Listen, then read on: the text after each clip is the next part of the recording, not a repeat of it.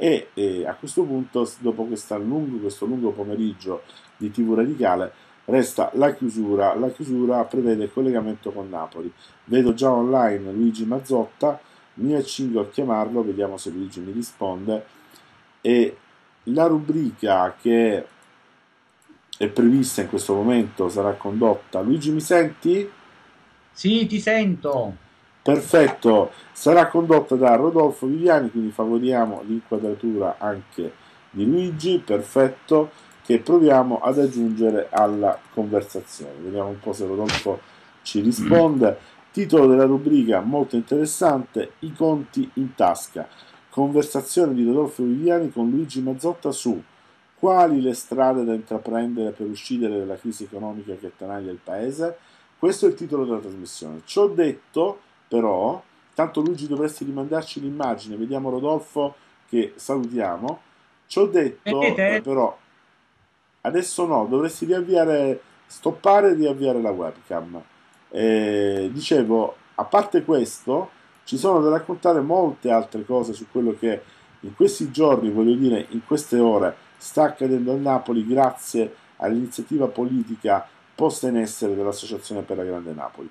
Quindi io propongo, vi propongo di aprire il programma con i conti in tasca e poi ci possiamo allungare tutto il tempo che volete parlando delle cose importanti che in queste ore i compagni dell'Associazione Radicale per la Grande Napoli stanno mettendo in essere e che ci hanno resi veramente molto felici.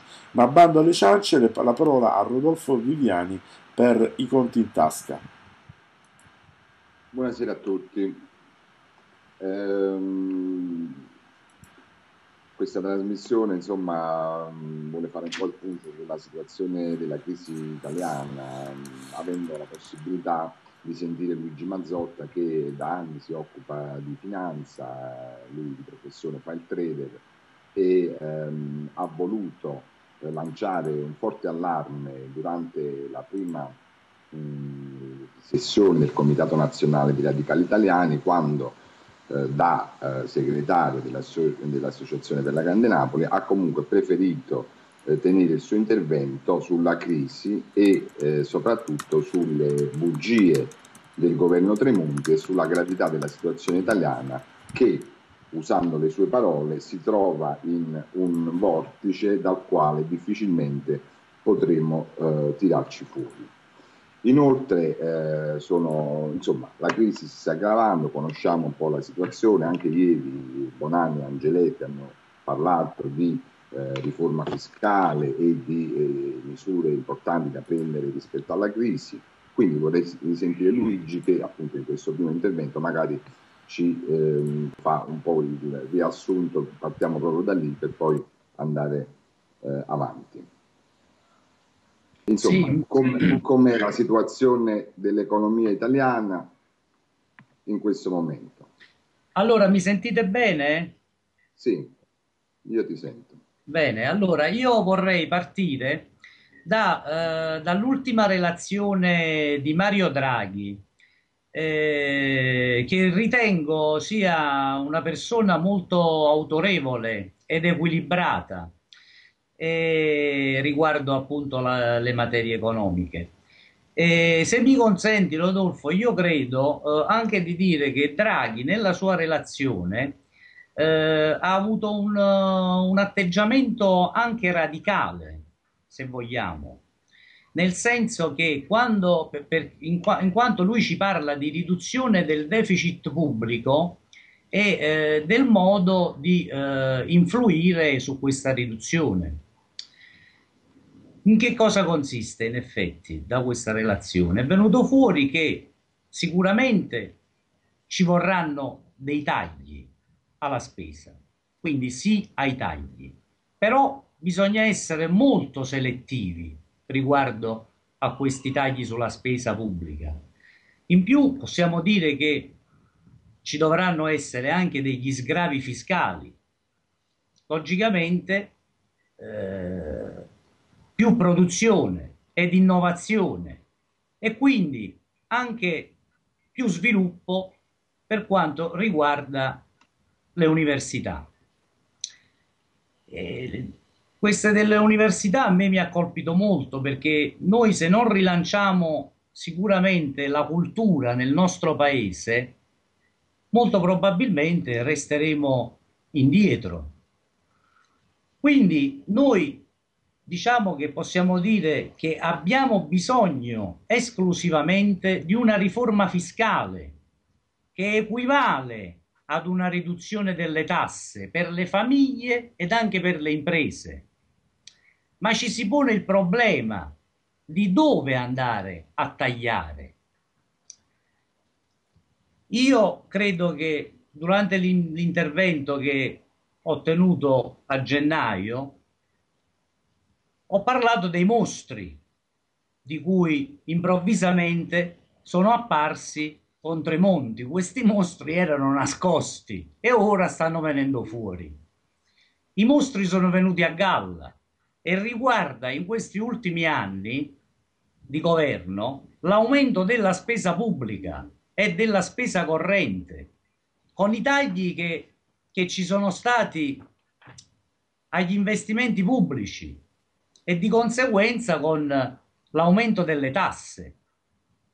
Ricordiamo che per quanto concerne le spese d'acquisto di beni e servizi per la pubblica amministrazione, lo Stato spende 138 miliardi di euro all'anno e negli ultimi cinque anni c'è stata una vera e propria esplosione della spesa pari ad un aumento del 50%. E se pensiamo che c'è stato un aumento del 23% sui comuni, questi dati dovrebbero far riflettere e soprattutto rabbrividire.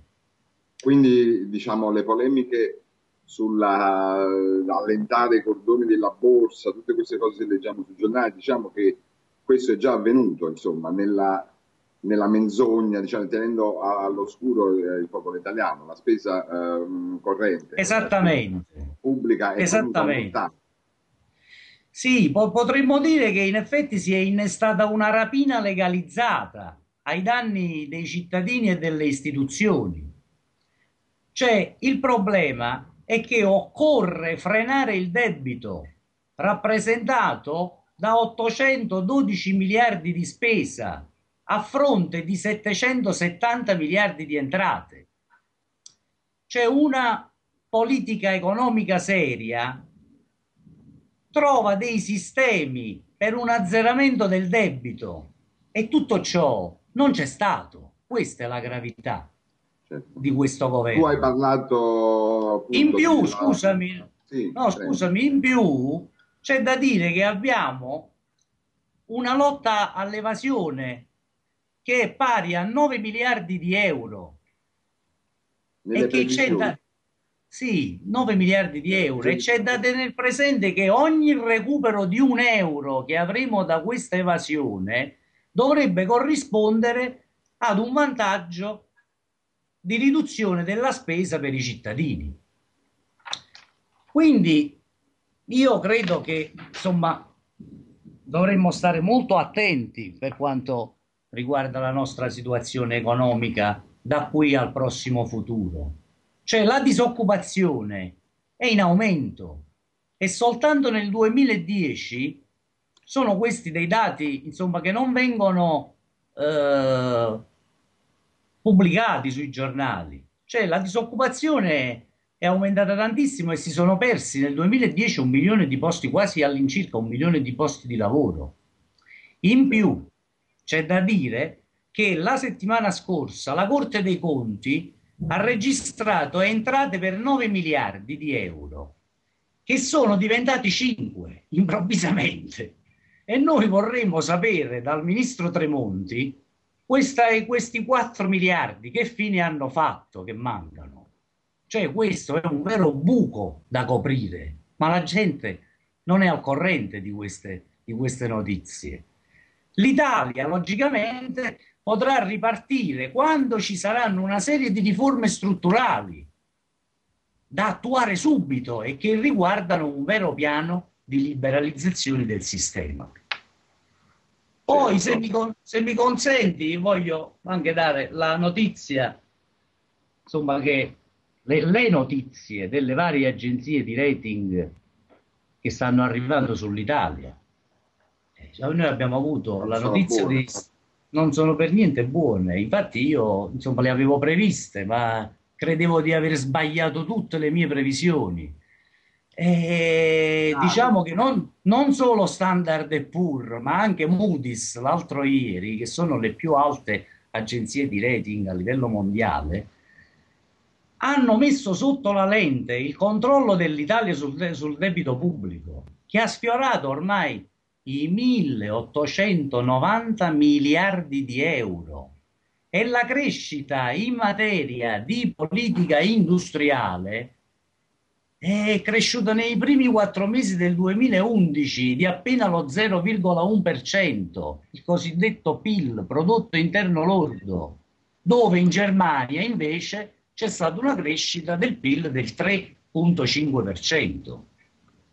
Sappiamo che il prodotto interno lordo dell'Italia è di 10 anni che è fermo e abbiamo dati molto negativi e, e a fronte appunto di questo dato abbiamo invece l'aumento eh, esponenziale del debito pubblico, quindi questo appunto dimostra la difficoltà del momento italiano. Vorrei, mh, insomma, eh, a gennaio tu eh, facessi eh, delle previsioni appunto augurando di sbagliare che la crisi italiana poteva essere molto più grave di quella greca perché l'economia italiana è eh, un'economia manufatturiera, industriale eh, rispetto appunto al caso greco dove eh, si tratta di un'economia meno strutturata, eh, basata mh, su altre fonti di entrate. Però oltre qui, e quindi ovviamente i problemi della disoccupazione in Italia sono enormi anche perché noi diamo credo nelle statistiche ufficiali un 8,5 ma in realtà eh, questo dato è falsato dal metodo di rilevazione italiana perché le stime della disoccupazione italiana sono ben oltre l'11%, che sarebbe il dato più alto d'Europa. Eh, abbiamo detto, mh, mm, insomma, abbiamo parlato un po' di dati che magari possono essere anche un po', mh, mm, diciamo, nella trasmissione è un attimo un po' più difficile, però eh, per questo volevo venire a un punto che io credo cruciale, perché eh, il problema dell'Italia è eh, oltre appunto a un, ehm, diciamo, una mala gestione della spesa pubblica e dei conti pubblici è il problema dell'instabilità politica e, e il problema della, eh, del regime partitocratico, della peste italiana. Questo ci rende molto più preoccupati. Rispetto a questo, insomma, ehm, quindi pensi che è possibile per l'Italia eh, salvarsi da questo vortice nel quale stiamo per entrare dentro e appunto anche dal punto di vista politico, tu hai parlato di liberalizzazioni, ma quali possono essere le strade di uscita per il nostro paese? Allora, guarda, noi dobbiamo innanzitutto avere le idee chiare per quanto concerne il prodotto interno lordo, perché in effetti questo dato esprime il valore complessivo dei beni, in Italia si cresce sotto la media europea, questo ci sembra ormai molto evidente. E quindi noi dobbiamo insomma cercare di prendere assolutamente dei provvedimenti, anche perché con ciò che sta accadendo in Grecia, eh, qui ci sono delle notizie che molti non sanno, ma in effetti ora nei prossimi giorni ci sarà un ulteriore finanziamento da parte dell'Unione Europea. Di all'incirca, mi sembra, dovrebbero essere 12 miliardi di, di, di euro. Ma il dato che arriva, le notizie che io riesco a recepire, è che se la Grecia dovesse andare in default, cioè dovrebbe dichiarare bancarotta, tra l'altro c'è stato un rimpasto del governo Papandreou proprio nei giorni scorsi con la sostituzione di alcuni ministeri, di alcuni ministri.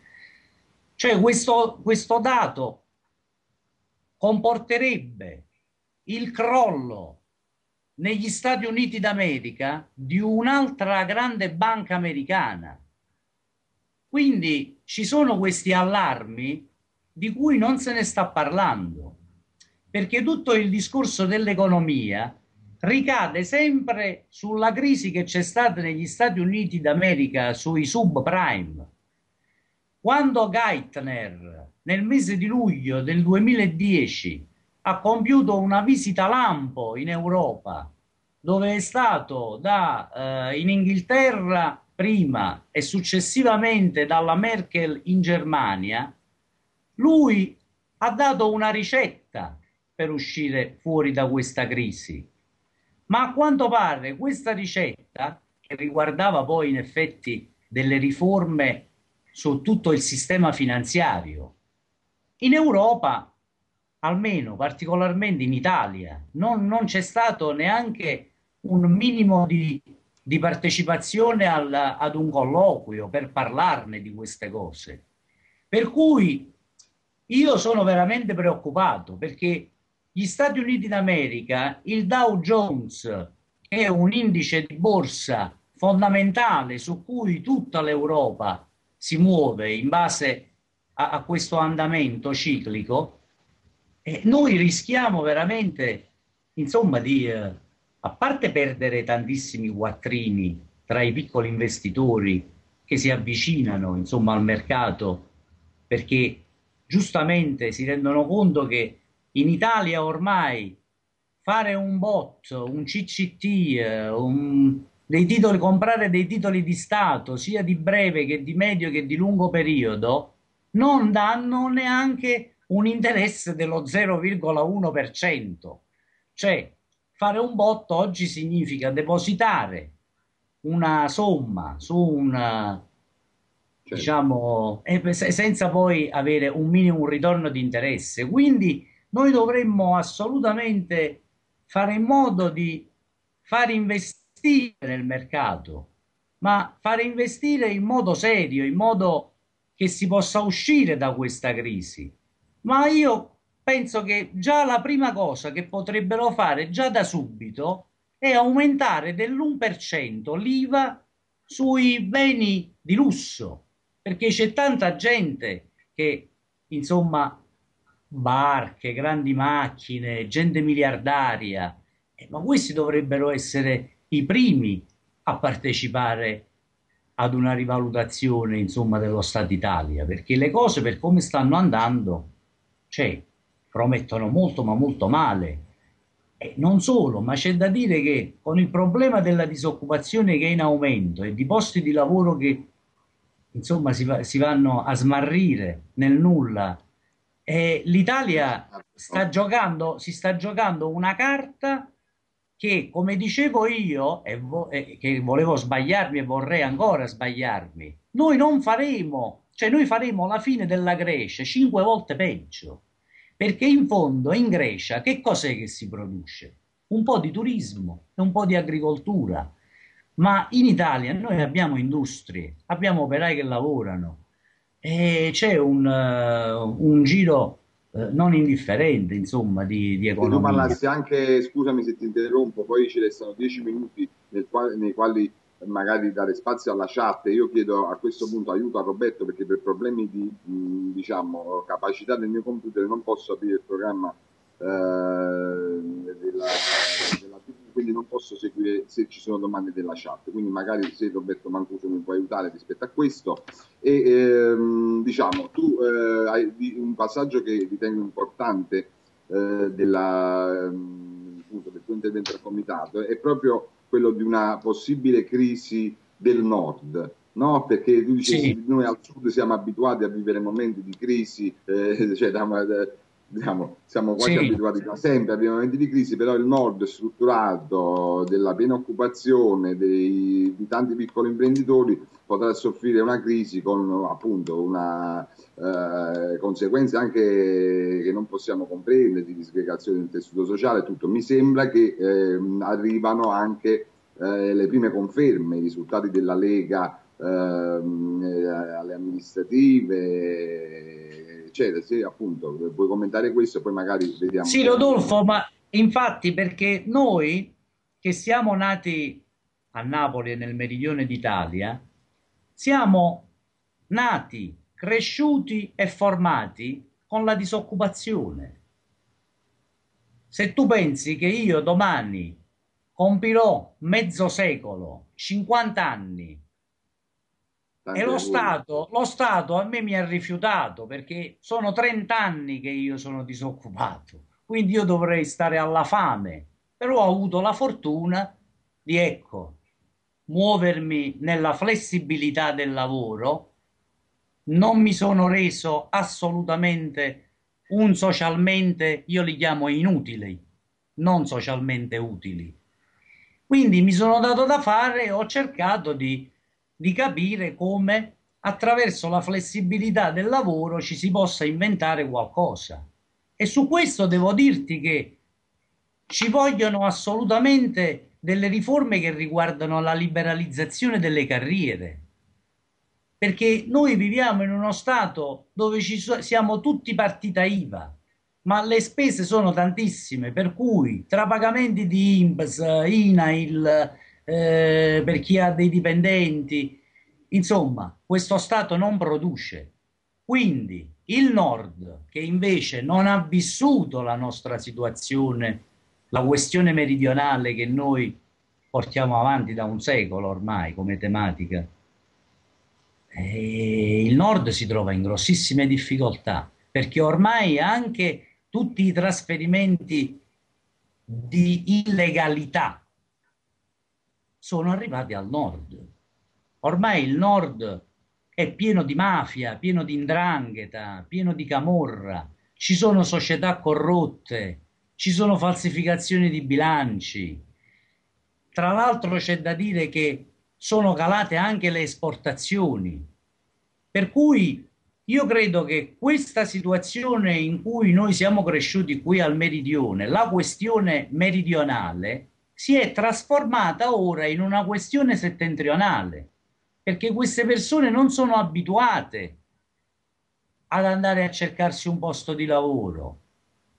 Il loro ruolo per la gran parte dei cittadini del nord è quello di fare l'operaio e vivere di stipendio, insomma, e, e gli imprenditori in effetti, sì, c'è una classe imprenditoriale certo. sicuramente molto più avanzata, ma si trova in enorme, enorme difficoltà in questo periodo, per cui le riforme sono fondamentali, sono obbligatorie. Mi meraviglio come ancora questo governo, dopo tre anni, non se ne sia ancora reso conto.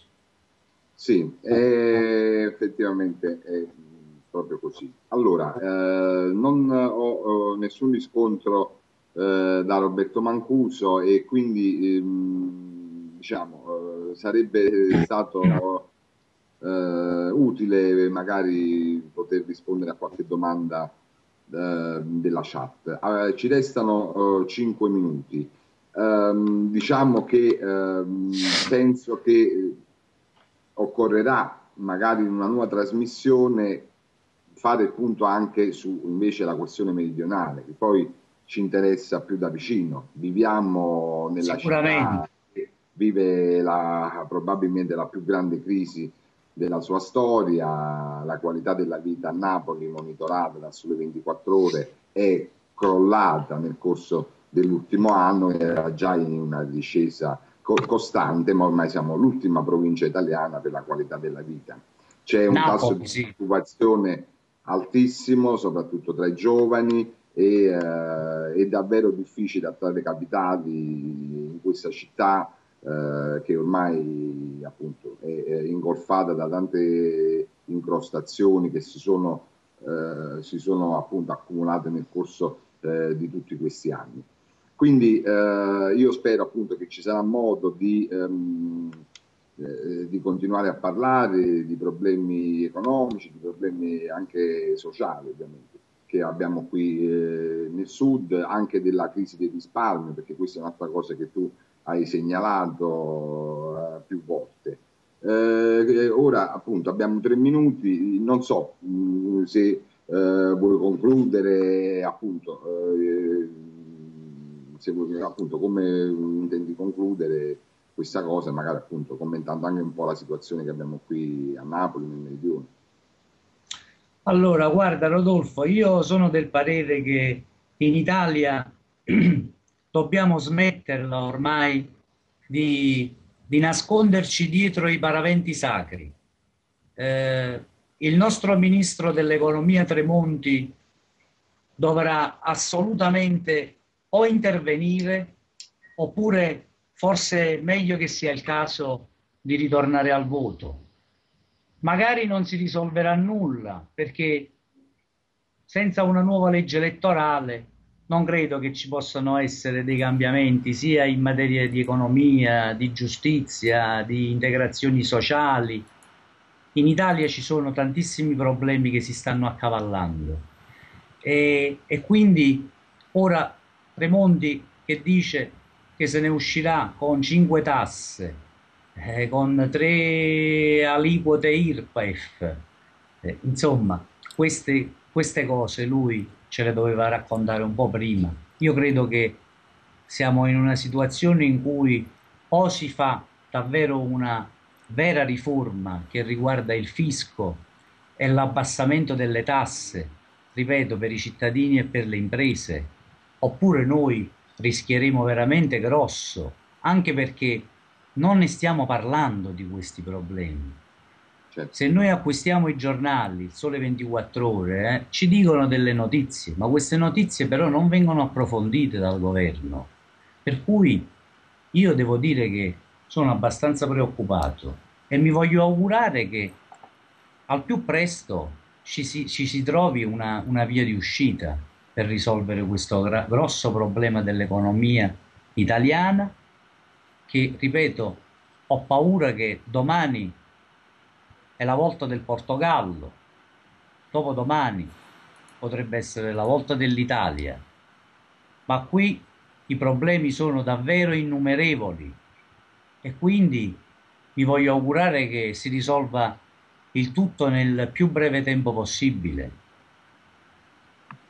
Io se Bene. posso aggiungere, direi che comunque eh, ti avevo sollecitato, poi forse per noi è un'analisi scontata, quindi eh, magari appunto eh, non, non l'abbiamo ripetuta, però credo che eh, tutte le riforme eh, economiche e eh, finanziarie di cui ha bisogno il nostro Paese comunque non possano ehm, avere luogo mh, in un sistema politico eh, partitocratico e di regime che impedisce il dibattito sui temi importanti della, eh, del, del, nostro paese. Quindi, ci, eh, vuole, ci vuole, scusami Rodolfo, il ripristino della legalità anche in materia finanziaria. Questa è la riforma più importante. Questa è la riforma più importante perché riguarda il mercato. E il mercato è fatto di acquisto e di vendita non ci si acquista soltanto azioni o obbligazioni, ma ci si acquista anche immobili, per cui la situazione immobiliare italiana non è assolutamente buona, in quanto noi sappiamo che nell'arco del 2010 ci sono stati svariati casi di persone che ormai non possono pagare più la rata del mutuo perché le banche usuraie hanno fatto in modo di contrarre mutui facendo i tassi eh, sbagliando completamente l'indirizzo dei tassi. E quindi queste persone si trovano ora svantaggiate perché avrebbero dovuto fare eh, contratti con tassi variabili e invece li hanno fatti fissi poi improvvisamente quando c'era da contrarre un mutuo per fare il tasso fisso eh, hanno fatto il variabile. Insomma le banche contando anche appunto sulla eh, scarsa capacità degli italiani eh, di eh, appunto una scarsa cultura eh, finanziaria che abbiamo in questo paese perché poi sono temi che vanno eh, spesso eh, affrontati in delle, sì, appunto, delle nicchie di informazioni ma non diventano dibattito pubblico e quindi anche eh, la manovra che si dice che eh, bisognerà prendere per eh, rispettare appunto quelli che sono gli obblighi europei dentro del deficit eccetera perché si parla di una manovra da 40 miliardi o ancora superiore insomma questa dovrà essere in qualche modo spiegata agli italiani altrimenti eh, rischieremo comunque eh, poi la rivolta sociale, cose, nessuno vuol prendersi delle responsabilità. Eh, sì.